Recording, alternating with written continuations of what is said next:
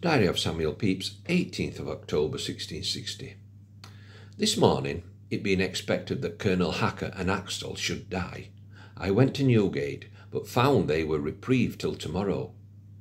So to my Aunt Fenner's, where with her my uncle I drank my morning draught. So to my father's, and did give orders for a pair of black baize linings to be made me for my breeches against tomorrow morning, which was done.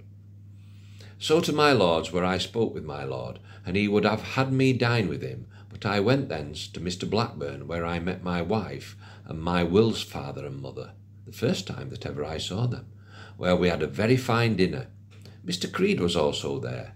This day, by her high discourse, I found Mrs. Blackburn to be a very high dame and a costly one.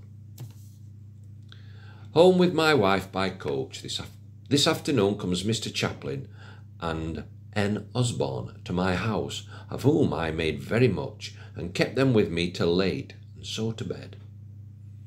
At my coming home, I did find that Theophila Turner had sent for a pair of doves that my wife had promised her, and because she did not send them in the best cage, she sent them back again with a scornful letter, with which I was angry, but yet pretty well pleased that she was crossed.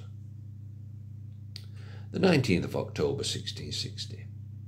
Office in the morning. This morning my dining room was finished with green serge, hanging, and gilt leather, which is very handsome. This morning Hacker and Axtell were hanged and quartered, as the rest are. This night I sat up late to make up my accounts, ready against tomorrow for my lord.